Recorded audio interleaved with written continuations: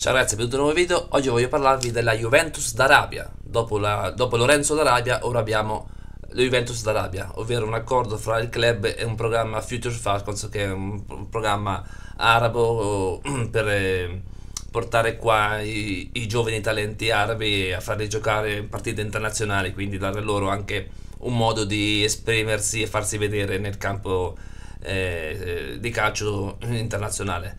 Ragazzi, però prima di partire vorrei ringraziare tutti quelli che mi stanno seguendo perché vedo che i miei video sono visti abbastanza. Quindi ragazzi, continuate a sostenermi con i like, commentate ragazzi sotto questo video, questo video ragazzi è una cosa molto importante. E condividete questo video e iscrivetevi, fate iscrivere e qui sotto ragazzi trovate il link, lo sticker super grazie per le vostre donazioni ragazzi. Quindi ragazzi partiamo con il video, eccolo qua. La Juventus apre le porte all'Arabia Saudita. Lo scopo dell'accordo firmato è qua sotto ragazzi. Allora, un accordo tecnico sportivo dedicato allo sviluppo delle eccellenze calcistiche e dei nuovi talenti è stato firmato oggi nella sede della Juventus fra il club e il programma Future Falcons, a presenza di Gazan Ferenbam e Romeo Josak, direttore generale e direttore tecnico del programma Future Falcons. E la Juventus c'era Ferrero e Scanavino e anche Pessotto. Ecco qua ragazzi, il comunicato della Juventus dice eh, aprirà, eh, questa partnership sportiva aprirà infatti le porte per i giovani talenti sauditi a numerose opportunità da sessioni di allenamento intensivo alle partite amichevoli e contestualmente sarà una grande occasione anche per i nostri ragazzi, i quali avranno la possibilità di confrontarsi in match internazionali fortemente formativi per loro. L'obiettivo di questa collaborazione, dice Pessotto, eh, è lo sviluppo dei ragazzi. Penso che Future Falcons sia un grande progetto che mette al centro i migliori giovani giocatori sauditi. Vogliamo aiutarli a sviluppare il loro talento e unire le nostre conoscenze, quelle dei nostri partner, da un punto di vista sportivo ma anche educazionale. Un altro aspetto importante è per i ragazzi di Future Falcons la possibilità di venire qui a Torino per svolgere sessioni di allenamento intensive. Esprimiamo, dice Feleman, la nostra gratitudine alla Juventus, questa collaborazione avrà un impatto positivo sullo sviluppo dei talenti.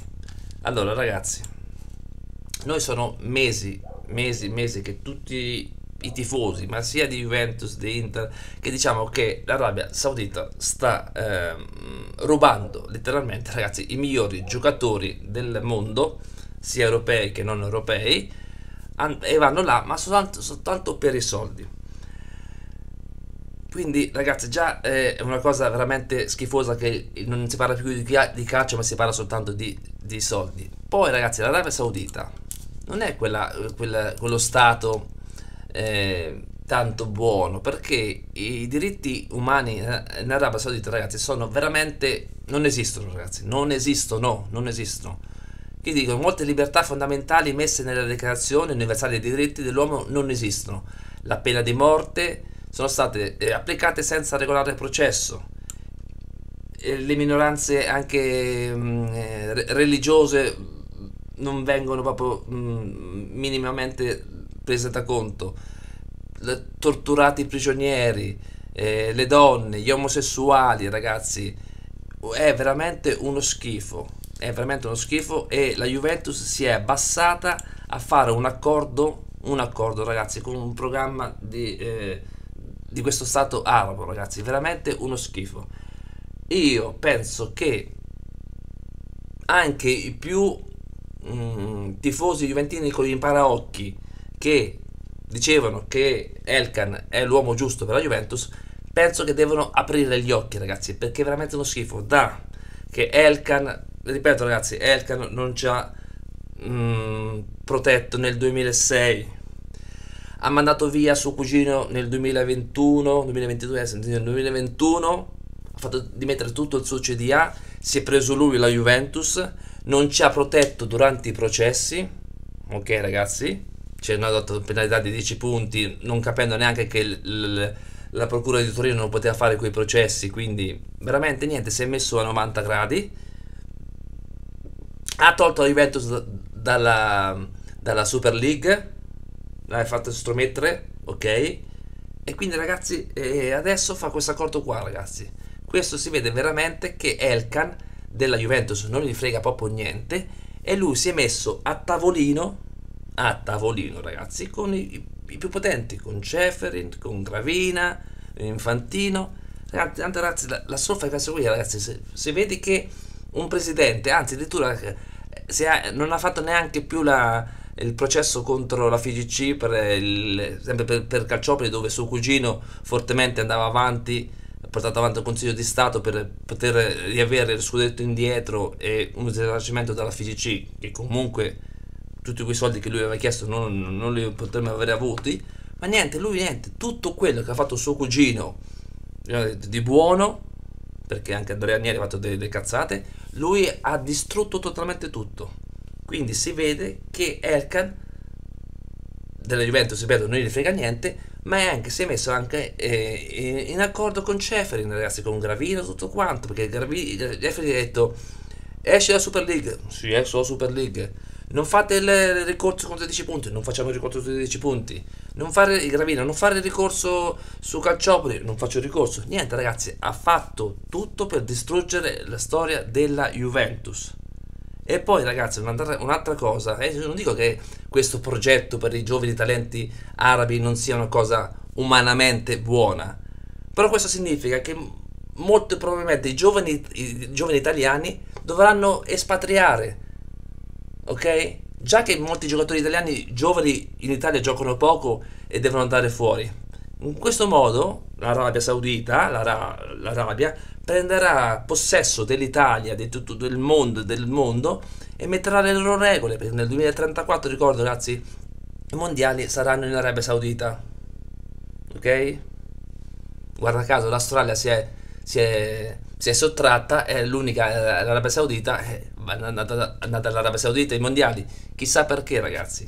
Quindi non dico che umanamente non sia buono perché i giovani ragazzi che adesso hanno 5, 6 anni, 10 anni, non sono loro il problema, sono i grandi, che però anche loro diventeranno grandi, verranno portati qua in Italia e quindi ruberà, ruberà, ruberanno il posto ai giocatori italiani, i gio, giovani italiani dovranno giocare o in Serie D o in dilettanti interregionale o dovranno andare all'estero. E quindi la nazionale italiana prima o poi non so con chi giocherà. Ma poi si dice che molto probabilmente il prossimo eh, sponsor della Juventus, perché l'accordo con Jeep è finito, sarebbe Etihad. Quindi un'altra cosa araba, quindi diventerà la Juventus d'Arabia diventerà. Diventerà la Juventus d'Arabia. Non lo so ragazzi, se, se a voi questa cosa vi piace, a me questa cosa mi, mi fa veramente schifo fare accordi con una società araba dove i diritti umani non esistono proprio. Però io spero che prima o poi Elkan venda questa Juventus, si tolga dalle palle, venga un vera- veramente un tifoso juventino e faccia piazza pulita di questo schifo e riporti la Juventus al centro del progetto, con, in una società dove sono persone eh, intelligenti e juventine. Se no qui veramente stiamo, stiamo diventando una, una, squadra veramente di arabi. E, e, e da questo, questo accordo molto probabilmente avremo Etihad sul, sulla, sulla, maglia. Eh, a me ragazzi questa cosa mi fa veramente schifo perché non penso che saremo solo noi, io penso che prima o poi l'Arabia adesso con la Juventus può fare accordi con altre squadre e vedrete che prima o poi, prima o poi l'Arabia comanderà su tutto, comanderà. E io spero che veramente Elkan si tolga dalle palle il prima possibile, ok? E la Juventus diventi Juventus con giocatori che amano la Juventus con un presidente juventino e con una società persone intelligenti e juventine. Se no, ragazzi, di questo passo inizieremo anche noi a parlare arabo. Ragazzi, questo è un video che volevo fare perché veramente è uno schifo. Perché, ripeto, io penso che Erkan sta distruggendo il nome della Juventus e di quello che voleva Gianni Agnelli e Umberto Agnelli che fosse la Juventus. Era sempre rispettata era sempre rispettata e questi accordi non li avrebbero mai fatti loro. Però ormai l'Arabia piano piano ha detto da, prima si prende i giocatori, si è preso il mondiale 2034, poi si prenderà accordi con, squadre italiane, poi squadre eh, inglesi, francesi eh, e vedrete che prima o poi l'Arabia comanderà su tutto ragazzi. Ditemi voi se questa è una cosa intelligente, a me non piace. Ripeto, io spero che Elkan vada via e venga un presidente veramente juventino e faccia capire cos'è la Juventus. Ragazzi, fino alla fine, forza Juventus, mettete tanti like, commentate, condividete, iscrivetevi, fate iscrivere, qui sotto c'è lo sticker super grazie per le donazioni. Fino alla fine, forza Juventus e ci vediamo un po' subito. Ciao ragazzi, ciao ciao ciao.